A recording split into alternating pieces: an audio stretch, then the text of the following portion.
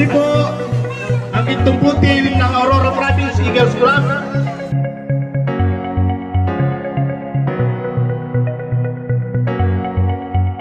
At itong putil ng Lady Eagles Club ay taos puso po nagpapasalamat sa inyong pagtanggap dito sa inyong barangay.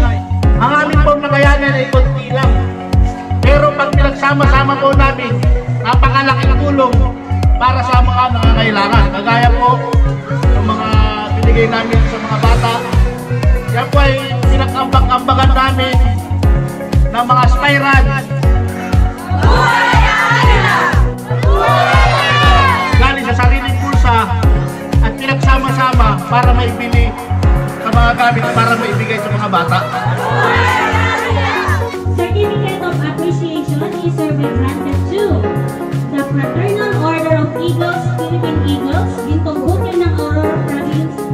Club for their extraordinary service to Jamanan Elementary School during their first community service this 23rd of April 2020. Given this